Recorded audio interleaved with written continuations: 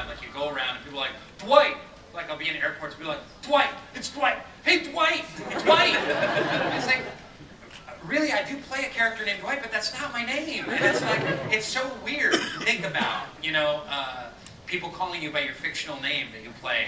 Uh, but uh, I really wanted people to get to know me as a person because there's a lot more sides to me than just playing the role of Dwight. And so that was important to me. But it's a weird thing because if you overstay your welcome on the social networks, like people just get to know you as the guy who twitters, you know, um, and not as an actor. And it's a it's a weird thing between walking that line and celebrity of uh, being you know being known, but you don't want to you know tweet every time that you you know, uh, every time you're peeing or, you know, what you're eating, I, I have some celebrity, burrito. some celebrity, you're very funny on Twitter. I have some celebrity friends who I follow on Twitter, and it's, and I, I mock them behind their backs because it's, uh, it's really like, just woke up, eating eggs, you know, driving on my way to work, you know, here, you know, shooting for 12 hours, and just, it's just every little minute aspect of their lives with absolutely nothing to do with anything that I, I care about.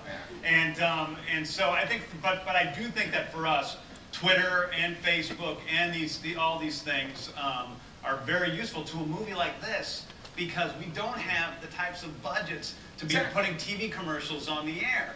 And so the people that are going to be at the theater tonight, I, I would say a good percentage of them know about it through me and Rainn and Ellen tweeting about it. Yeah.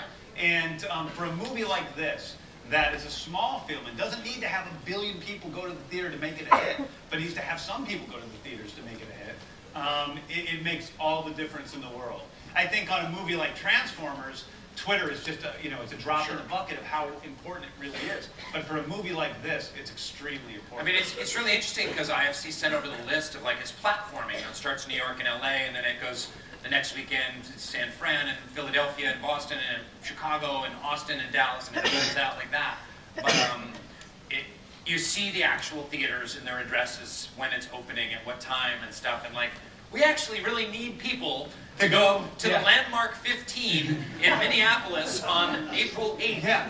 and sit down and buy $10 tickets and buy lots of popcorn when they're there and to tell their friends via Facebook to actually go. It's actually really important for our movie. So it's Yeah. this weird, it's Yeah. this weird thing um, where it's like for, and, it, and it's very exciting because like, like James said, like no one got paid anything on this. We didn't really have trailers. We had little honey wagons, dirty, filthy little gross, smell, Louisiana smelling little places to change clothes, and then uh, Yeah, it smells like Louisiana. You just you just killed anybody that was going to go see it. It smells like Louisiana.